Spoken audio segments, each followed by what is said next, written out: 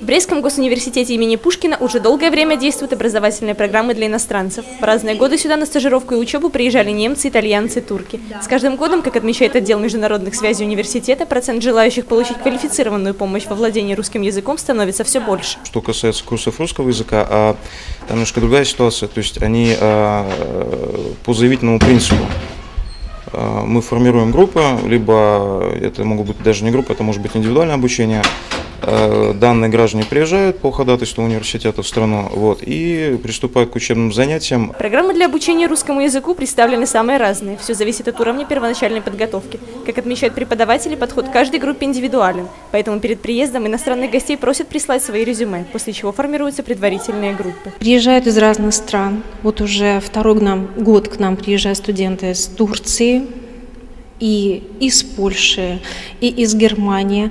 Работать очень интересно, но не просто, потому что требует от нас ну, знания методики русского языка как иностранного и умение общаться с людьми различных культур, различных национальностей. В Беларуси с Турцией Мэтт приехал впервые. Брест поразил его своей красотой и чистотой, уютными скверами, просторными улицами. Впечатления о нашей стране и людях у него самые положительные. Мэтт с радостью познает азы грамматики и лексики, чтобы поближе познакомиться с самобытной культурой белорусского народа. Я э, изучаю русскую культуру.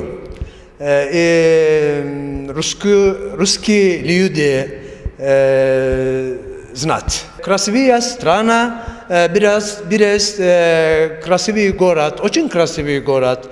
Силен, Силеный. В Брест приезжают не только те, кто хочет изучить русский язык, но и студенты иностранных вузов. Камиль и Магда из Польского университета Мари Складовской. Их программа более сложная, чем у представителей Турции. Русский этим молодым людям понадобится для получения диплома. Почему русский язык? Потому что мы изучаем прикладную лингвистику в Польше. No i nam to, nam это пригодится, такие языковые курсы. Беларусь я первый раз. И, ну, эм, что я могу сказать, здесь лучше, чем я думал, потому что ну, люди замечательные.